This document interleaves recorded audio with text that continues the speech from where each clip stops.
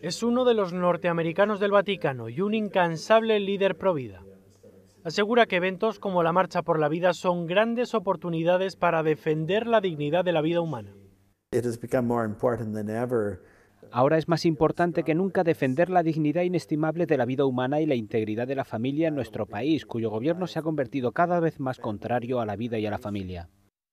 El cardenal Raymond Burke es el prefecto del Tribunal Supremo de la Asignatura Apostólica, equivalente a la Corte Suprema del Vaticano. Pide a los católicos que no tengan miedo a manifestar la verdad moral sobre la vida. Dice que la Marcha por la Vida, que cada año reúne a cientos de miles de personas en Washington, envía un mensaje muy importante a la sociedad.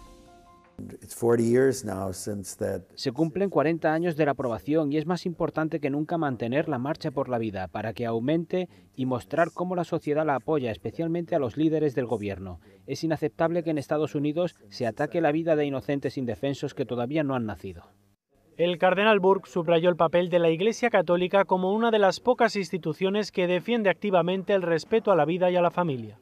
Dice que hablar más abiertamente sobre la defensa de la vida conducirá a una mayor reflexión por parte de la sociedad y a resultados más positivos.